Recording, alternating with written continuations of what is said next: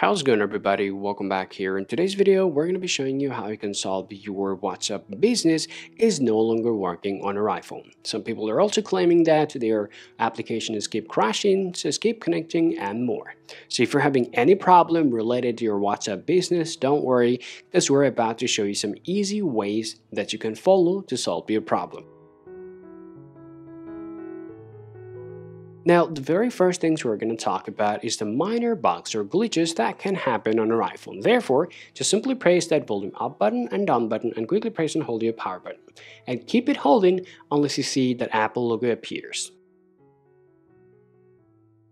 Well, now quickly after that, if you see still you have the same problem on your iPhone, the next things that we're going to tell you to check is that applications itself. You want to just tap your settings and then head over to your general. From here, tap on your general and choose your iPhone storage. From there, scroll down all the way to your WhatsApp business, tap on there, and now simply go ahead and tap on offload application, tap on offload app, after that, tap on reinstall to solve your problem. Well, if you see your iPhone is taking too much time to reinstall your WhatsApp business application, that means you're having problem with your internet. Now, in order to solve your internet related issue, the first thing that you want to do, just go ahead and swipe down from the top and simply enable your airplane mode.